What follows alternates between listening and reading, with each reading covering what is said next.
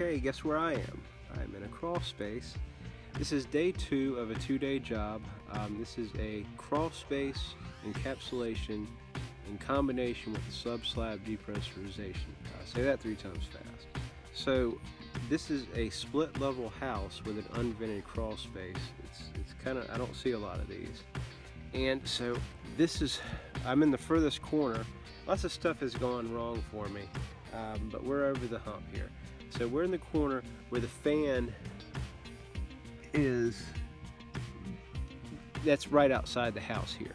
So it's coming in and, all right, so we're gonna split off here and we're converted to inch and a half.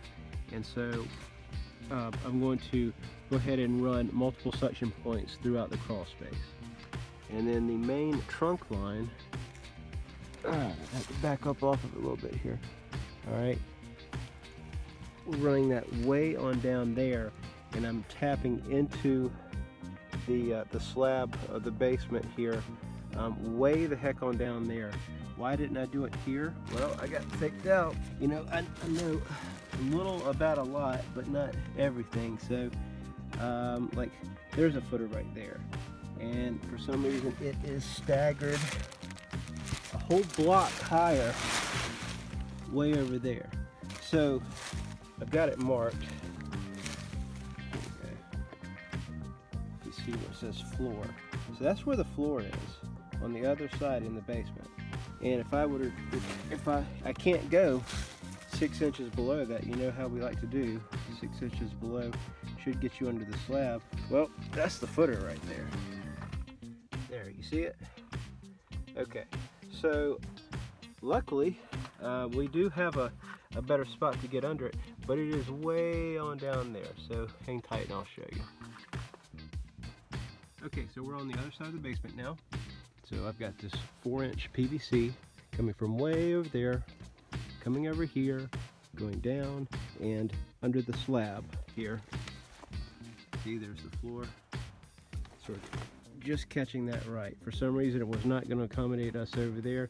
Can't explain why, but just got to deal with the the cards that you're dealt. You know, you don't want to screw over the next contractor. Somebody's going to have to replace that furnace uh, someday, and want to make extra special sure to give them all the room they can get uh, to get this thing out of there and a new one in. Someday that will have to be replaced.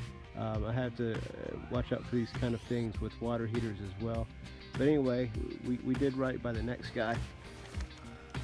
Manometer, this right here, uh, you know, nobody's going to crawl in here to check out the manometer. So uh, this is ice maker line, which works perfectly in place of the uh, tube that they give you with the manometer kit. And I've got that run out here. Okay, we're now out of the crawl space. There's a manometer, system's not fired up yet, so it's set at zero. I'll walk you out so you can kind of get a perspective on uh, what we're working with here.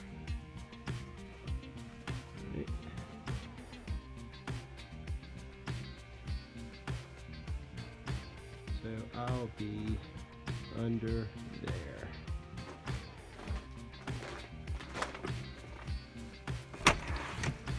By the way, my name is Scott. I am a radon mitigator in Virginia. I make videos for other radon mitigators, those looking to get into the business. If you're a homeowner, you can hang out. Be sure and check out www.nrsb.org.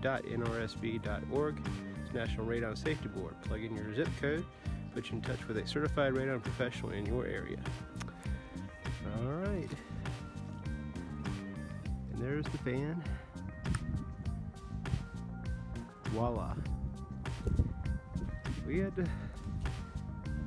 thread a couple needles to get this thing done because this is a uh, retractable awning. And uh, of course we got the gutter. And actually to power the fan, there was an outlet right behind there, but I couldn't get to it because of the gutter. But anyway, we're gonna land on our feet just fine like we always do. All right, now I need to get back under that house and put some plastic down for a few hours. All right, see you in a bit. All right, so we have completed um, attaching the inch and a half pipe off that main four inch stack and we have routed it through multiple suction points throughout the crawl space. Got my trusty sled here, moves all my stuff around while I slither like a snake under stuff like this. Um, all right, so now we are going to put down the plastic underlayment. All right, we've just about encapsulated this crawl space.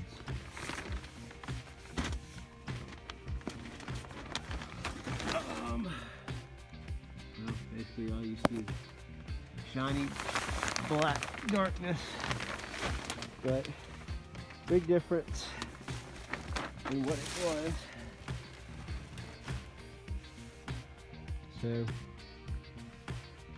the object of the exercise is to pull from under that and uh, that'll get the radon out of here. Um, I wish it was more action-packed to show you because I've really worked hard at it. At any rate, crawl space encapsulation combined with subslab depressurization. Don't see that every day. Alright, take care. Have a good one.